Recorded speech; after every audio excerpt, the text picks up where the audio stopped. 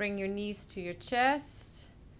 And as a therapist, I'm watching to see how much the chin moves up towards the ceiling because that gives me an idea on the relationship of tightness between the head and the pelvis.